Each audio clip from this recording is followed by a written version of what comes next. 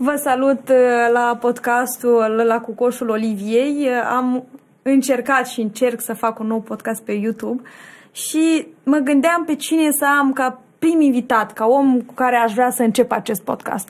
Și mă gândeam în uh, mintea mea și în interiorul meu că mi-ar place să vorbesc cu o fată, cu o femeie, pentru că o să avem o conexiune aparte atunci când o să începem și să, să vorbim și eu am aici alături pe Lăcrămeara. La sigur o știți. Uh, Lăcrămeara, eu mă uitam foarte multe interviuri ai tu și foarte multe podcasturi și ai fost abordată și eu zic să nu abordăm doar partea cu sportul azi, dar zic să abordăm și partea dezvoltării personale, partea a ceea ce e frumos și e despre interiorul nostru.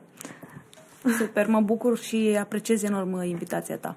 Știi, eu mă uitam și mă gândeam, Lăcrimeara, un nume super așa de floare, un nume super fin de o finețe aparte și când mă uit la tine ești o fată care mie îmi pare personal că e super cu caracter, așa, o fată care are ce spune și care dacă e cazul și ți-o, ți-o dă așa pe față da. și pe șlea orice. Să știi că de mică, când am început să mă realizez eu așa mm-hmm. ca persoană, mă gândeam de ce mi-a fi pus mama numele ăsta, Lăcrămioara, că eu eram mai ambițioasă, mai bătăușă, mai agresivă așa și zic, mamă, lăcrămioara, parcă mi-era rușine uneori cu numele ăsta. După care am crescut, am început să-mi dau seama că stai puțin, că nu numele te definește ceea ce ești tu ca om. Da, într-adevăr, sunt un caracter mai puternic, așa, o femeie mai puternică și îmi place cum sunt. Și cred că numele compensează, știi? Forța asta interioară. Cu... E, e un nume foarte fin și foarte frumos. Și mă informam cumva despre tine. Am văzut că am crescut plus minus în aceeași regiune. Uh, tu ești la fel din Moldova, eu sunt din Moldova de peste Prut, în fine. Și copilăria foarte mult se aseamănă. Tu ai crescut la, la țară? La țară, da. Eu la fel. Până la 14 ani am crescut la țară. Și cum a fost această copilărie? Eu am impresia că copiii care au crescut la țară sunt cei mai fericiți. Au avut cea mai frumoasă copilărie. Am trăit toate emoțiile astea, am fost și puși la muncă, da. dar în același timp am avut și disciplină pe care și am avut și cu bunicii, sărbătorile, toate chestiile astea, valorile astea cumva care da. s-au păstrat. Nu mi-aș da la, pe nimic la schimb copilăria. Cred că sunt cei mai frumoși ani. Sunt momente când chiar stau și mi-aduc aminte așa cu nostalgie momentele din copilărie. Au fost cele mai frumoase. Și cred că cele mai frumoase jocuri și, nu știu, activități pe care le făceam în copilărie nu le-am mai întâlnit la generațiile prezente deloc. Adică dacă le spun ce făceam noi când eram copii, parcă, deși mă consider tânără, nu mă consider nu știu ce bătrână, dar parcă totuși, și jocul ăsta cu mingea în spatele blocului mi se dar pare nu mai vezi copiii aia care se joacă, de exemplu băieții care se jucau, nu mai vezi așa da, de mult, da, adică da. copiii stau foarte mult în fața calculatoarelor, telefoanelor, adică chiar dacă mă uitam la ei când activam la federație, ei merg la fotbal și mm, repede cu telefonul în mână, nu mai au chestia aia că să rămână după antrenamente și să mai bată mingea de vreo două ori în poartă. Așa este și la noi, în, la mine, în sportul pe mm-hmm. care îl fac. La fel, vin fetele la sală cu telefonul în mm-hmm. mână, în pauză telefonul în mână, pleacă cu telefonul în mână, adică e e greu să-i ții conectați sau să vezi că fac ceva în plus sau să comunice pur și simplu cu colegii. Cu Asta telefon. e o barieră, cred că. Și așa, avem destule bariere și încă ne mai inhibăm și din cauza asta. E prea de tot. Tu ai crescut într-o familie cu opt copii. Da. Și eu cum eu fac? Cu, mie așa de mult mi-e interesant, eu nu am nici frați, nici surori. Și tare mă, mi-e interesant cum se formează conexiunea asta. Da, deci eu sunt al treilea copil din, din familie și prima dintre fete. Oh, da, a fost, uh, a fost minunat să zic așa. Ce mi-a plăcut mie cel mai mult, eu am fost foarte mult pasionat de fotbal. Mi-a plăcut fotbalul de, de mică. Și la noi în familie, după ce am început să creștem, făceam echipe între noi și ne jucam. Pentru mine era o să jucați. Da. adică ne întâlneam cu copiii și dacă ceva nu ne convenea, le ziceam, nu juca. Noi oricum jucam între noi, știi? De, de Voi ce puteți să faceți și echipa voastră, fiind da, 8, da. mai aveți nevoie de... Într-adevăr, nu eram chiar toți acolo, dar era, eram așa, știi, descrescător și vârsta era maxim 2 ani între noi, adică eram acolo ah. aproape, nu aveam distanțe mari. Da, și cu cineva s-a format o conexiune aparte din uh, frații tăi, adică înțeleg că toți sunteți, vă iubiți unul pe altul. Cu cine ai cea mai aproape conexiune, așa, Da, am uh, emoțională? două surori cu care sunt uh, foarte apropiată, sunt Ziana și Olivia. Oh, Olivia, ai o soră Olivia. Am da? Olivia, da. La una dintre ele ești și nașa copilului? Uh, nu, la a treia soră a sunt treia soră, ok. nașa copilului, da. Aceste două surori nu sunt căsătorite și nu au copii. Ah. Au timp. Au, timp, da, încă sunt mai tinere. Da. Femeile am impresia că în perioada asta au tot timpul din lume ca să reușească să facă o familie, o casă, sau dacă nu să nu facă. Adică Exact. avem mult mai multă libertate. Și mi se pare normal să ai libertatea asta. Adică nu cred că trebuie să avem un tipar după care să ne ghidăm. Că uite, și eu am 30 de ani și sunt, nu sunt căsătorită și nu am copii. Adică Dar în Moldova e tiparul ăsta, adică că femeia trebuie, știi? Trebuie să facă un copil, o familie, deja trage de tine lumea pe la un 23. Ca vârsta, vârsta când te... Gata, vine ceasul, trebuie. Să știi că și eu am fost întrebat, dar cât tu să mai duci cu sportul? N-ai de gând și tu să te pui la casa ta, să ai... Și zic, vreau să-mi trăiesc viața cum vreau eu, nu să cum... Adică deja oamenii încep să-ți zică... Da, da, da. Mm. Cred că întotdeauna au fost astea și vor fi. Nu am nicio chestie. E treaba lor să zic, că e treaba mea să fac ce vreau. Ai trecut de la sport la box. Adică a fost o, o trecere din asta. Cum a fost trecerea asta? De ce nu ai rămas în fotbal? Pentru că știu că și fotbalul, mai ales acum în România, Acum. fiecare echipă trebuie să aibă și o echipă feminină. Se insistă cumva pe chestia asta. Da, e minunat, dar atunci când eu eram pasionată de sport și vreau să fac performanță, pentru că asta a fost țelul meu încă din copilărie, mi-a- mi-am dorit să devin un sportiv de performanță, fotbalul feminin nu era atât de dezvoltat și nu am simțit că e locul în care eu aș putea să-mi ating obiectivele. Așa că atunci când am întâlnit uh, boxul a fost wow. Deci aici mi-e locul, știi? Deci Da, chiar a mai fost știi? o atracție așa pentru box. Dar mai știi care e situația acum în fotbalul feminin? Am văzut că acum fetele au și salarii, se pot cât de cât întreține, Exact. înainte nu era nici chestia asta. Asta e. Deci asta, asta a fost, chiar a fost un uh, minus așa care m-a făcut să... Că eu am cochetat cu fotbal, am jucat fotbal în timp ce făceam box. Și am vrut să mă las pentru, la, pentru fotbal uh, de box, dar uh, nu câștigam, nu puteam să mă întrețin, nu aveam o situație care să-mi permită să fac uh, fotbal doar de plăcere. Trebuie Da. să te și... Că toate trec prin stomac, vorba antrenorului Da, meu, e știi? adevărat. Adică, mă rog, nu poți să joci de dragul jucatului. Noi avem fete și mă uitam și la fetele din România și la cele din Republica Moldova. Adică cele din România măcar sunt salariate cât de cât ok. Nu sunt Da. salariate ca băieții, de exemplu. Da. Și niciodată, nu, nu știu, nu ajung la apogeul ăla de salarizare. Și eu La cred voi că ar cum e? merita. Uh, acum e bine, pot spune că am, m-am realizat cât de cât din sportul ăsta și sunt mulțumită de nivelul la care am ajuns și de ce câștig din el. Dar, uh, Dar multe fete nu au situația ta. Adică multe fete... da, trebuie să tragi mult ca să ajungi să faci performanță și mai apoi să vină și remunerarea. Ani de zile merge for... E vorba despre ani de zile. Da, da. Păi eu am De stat muncă. ani de zile, adică la început în box nu câștigam nimic, pentru- nici nu aveam performanțe la nivel internațional. Deja când faci performanțe la nivel internațional încep să apară poate și banii cât de cât. Dar nu te gândi că sunt salarii ca în fotbal. Nici A, pe nu. departe. Adică cred că, nu știu dacă suntem Să la, nu imaginezi chestia la un asta. 15-20% față de ce, sunt, ce salarii sunt Ah. în fotbal. Adică e, nu e. E cât să, na, să ai ca și cum ai avea un job.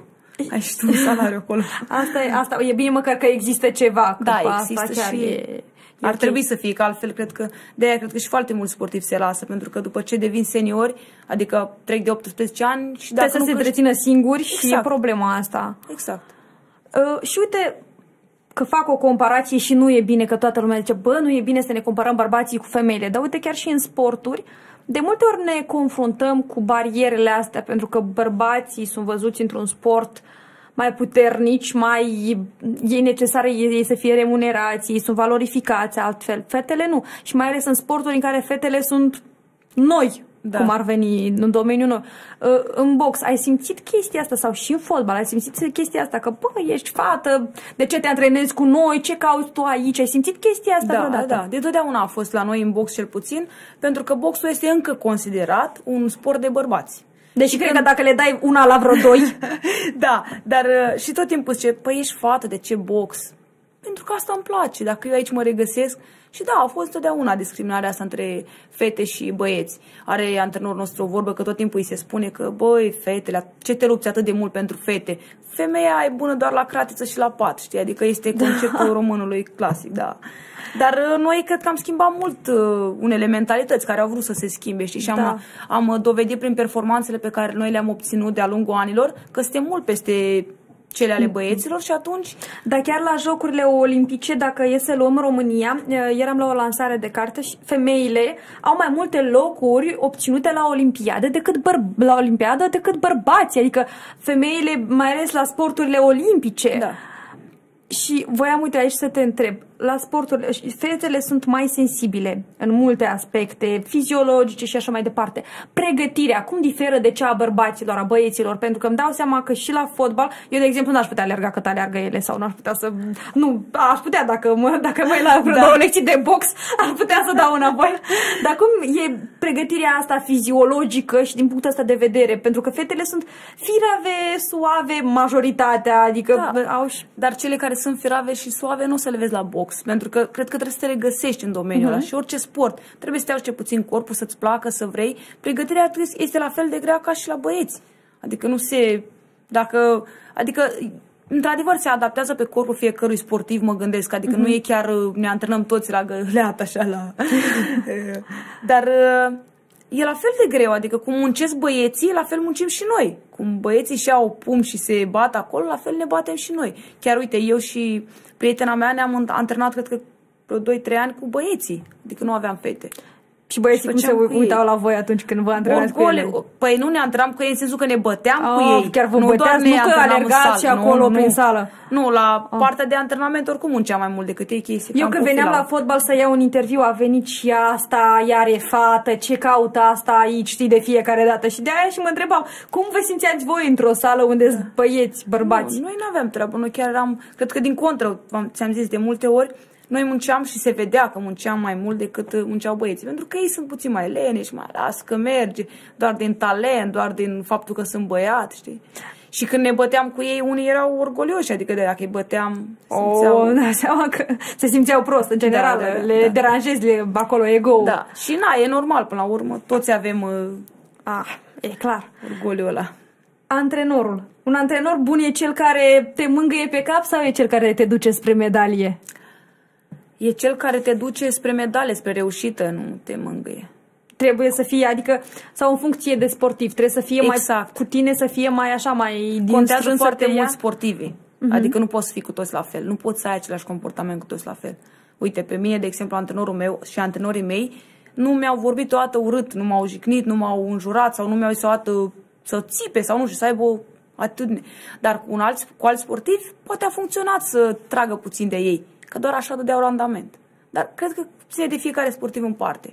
Dar antrenorul trebuie să fie ăla care să te ducă să-ți atingi țelurile, nu să te mângâie pe cap, că dacă vrei uh, iubirea de mămică, du-te acasă. Da. De multe ori ei așteaptă, adică unii sportivi zic, bă, antrenorul ăsta prea mă presează, îmi schimb antrenorul, știi? Și mai ales la spe- sporturile astea individuale, cum e sportul tău, de obicei conexiunea cu antrenorul e cea mai importantă, da. așa cum e și în judo, e la fel și în box și în alte Așa este. sporturi. Trebuie să fie conexiunea aia Da, eu cel puțin am o relație foarte apropiată cu antrenorii mei, de fapt cum sunt ca și părinți, pentru că am și stat vreo trei ani de zile la ei acasă și am o relație foarte apropiată și știu, chiar știu cum să mă ia și observă când nu am chef, când am o stare mai așa sau când sunt bine și trebuie să mă ducă și mai sus. Uite, Probabil tu... și experiența de antrenoria te face uh-huh. să fii așa. Că nu poți la început începi să antrenezi și să simți sportivul. Trebuie să lucrezi cu ei. Trebuie să fii și un psiholog bun.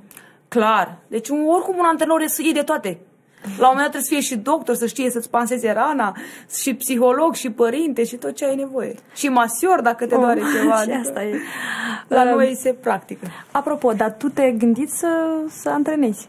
Da. Să antrenezi? Da, m-am gândit oricum, nu știu cât va mai fi cariera mea în, în box. Nu am de gând să îmbătrânesc făcând box.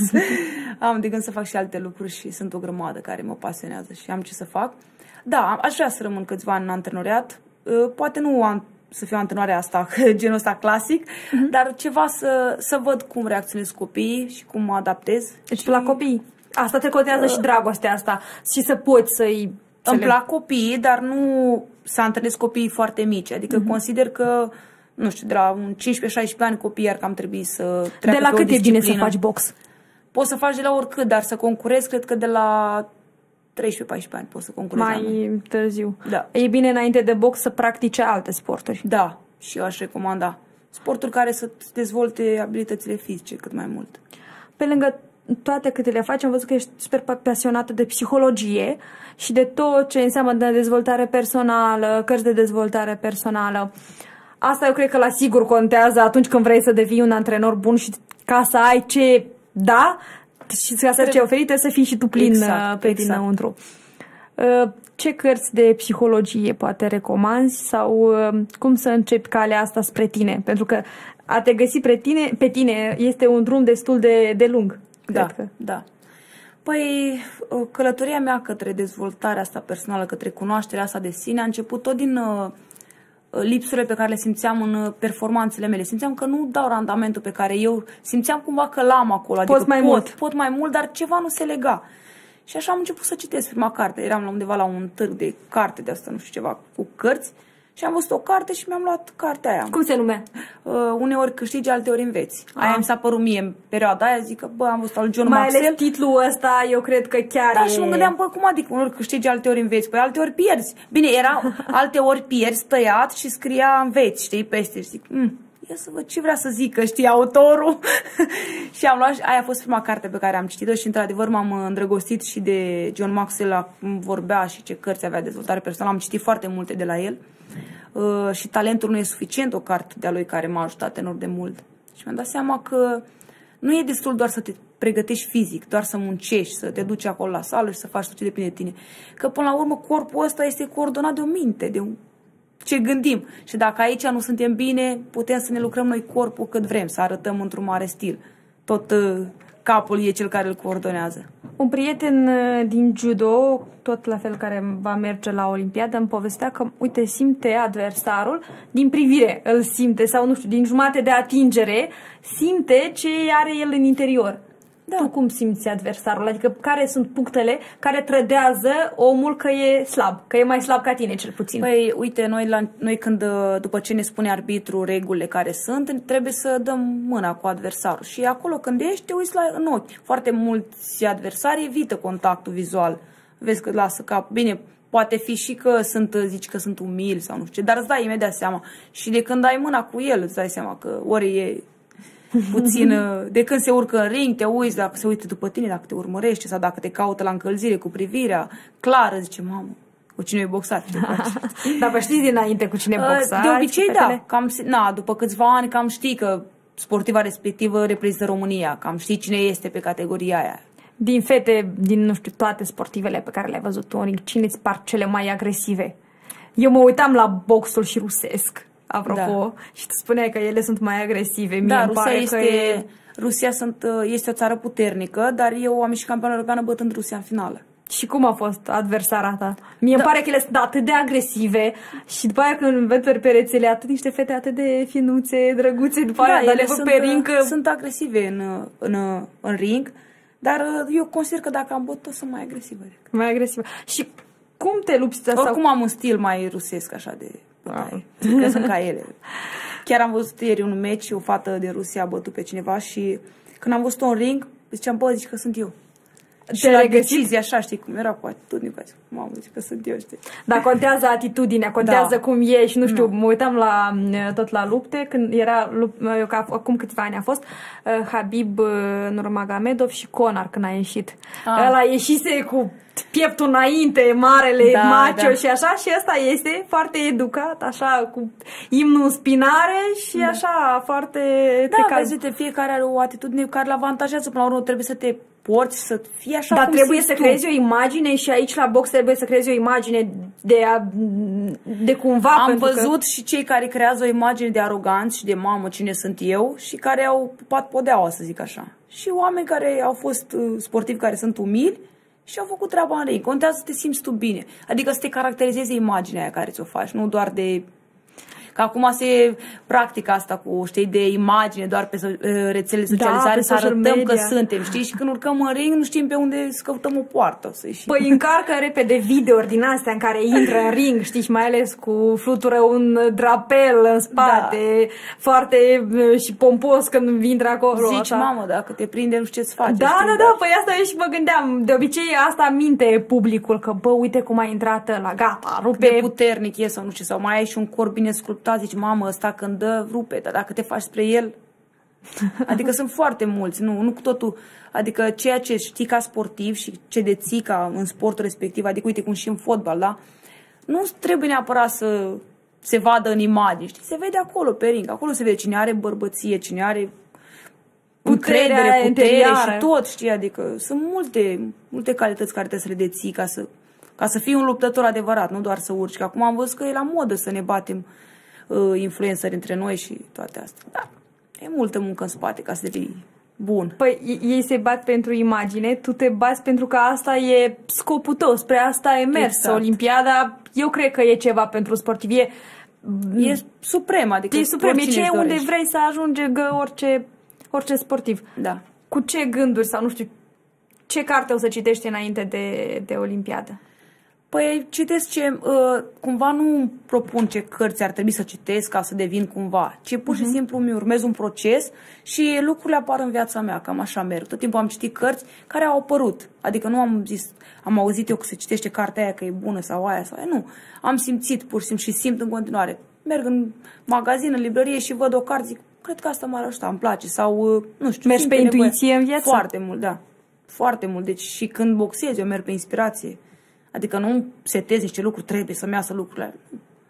Îmi setez un scop și apoi zic, hai să vedem cine devin și ce voi face în atingerea acestui scop. Adică nu sunt așa... Deși, da, într-adevăr, am și eu anumite rutine pe care mi le uh, fac. N-ai și le- cum, trebuie să mă ai țin un de- regim dacă ești un sportiv de Mă țin de performanță. lucrurile alea, dar nu sunt obsedată dacă n-am făcut aia, vai, ce se... nu mai câștig de acum că n-am mâncat uh, o masă sau nu știu ceva, nu. Da, alimentația cum e? Acum, înainte, strictă. dacă te, te, ești super Acum strictă. am un turneu săptămâna viitoare și o alimentație strictă. Adică Ce, respect. ce mănânci? Uite, acum suntem, am filmat podcastul ăsta dimineața.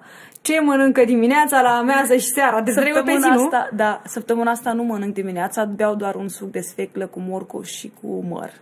Pare ciudat, nu? Mai am deslăbit un pic și am Mă, renunțat eu, am- peste- eu am probleme, o să-mi dai și mie chestia asta. Da. Că pare interesantă. Da, e foarte, Detoxurile le practici? Uh, nu, doar că sunt din alimentație Ah, cumva ok. reușesc. Nu e de, de detox, ci pur și simplu sfecla roșie ajută și la fluxul sanguin, în fine, e foarte Ah. bună pentru sportivi. Și acum atât beau dimineața și mănânc doar la prânz. De exemplu, astăzi la prânz, ce aveam astăzi, stai să mă gândesc. Ce aveam astăzi? Ceva tot ușor? Uh, nu, astăzi aveam doar paste cu... Deci se permite să mănânci și o pastă și carne Mănânc și... foarte mult carbo, adică Ah. paste, mănânc și orez, n-am nicio chestie. astea și contează. carne, da.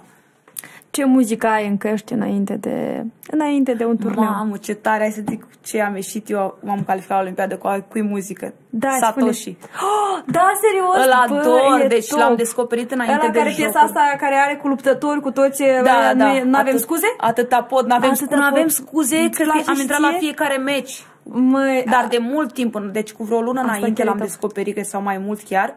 Și doar cu piesele lui mergeam la sală, l-am toți prietenii mei le-am zis, ia uitați aici.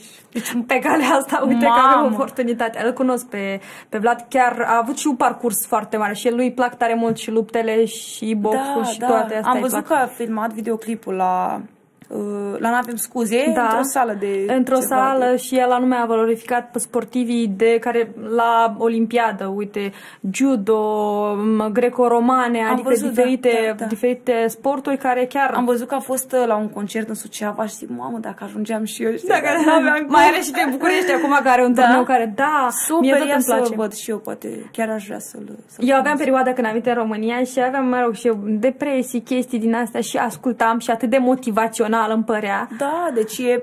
Am un prieten care i-am recomandat piesa asta și zicea, tot așa se apucase de sală și când se ducea la sală zicea, bă, n-aveam chef și când îmi puneam piesa aia, că n-ai chef, mă, se ridicați, Gata. hai, dai drumul.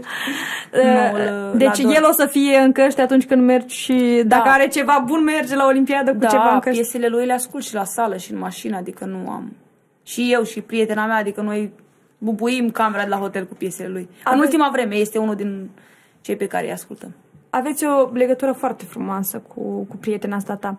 Voi, fete fiind ambele, cum v-ați simțit în sportul ăsta?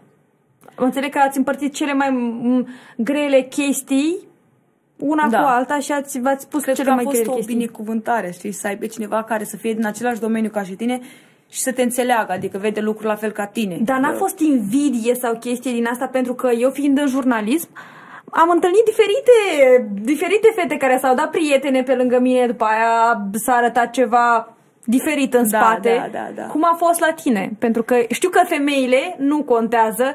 Ele oricum au vipera aia din ea care iese la suprafață atunci când cineva are mai mare rezultate, Da, știi? da. Între noi n-a fost așa, dar cu alte fete, da, poate că am simțit partea aia de invidie.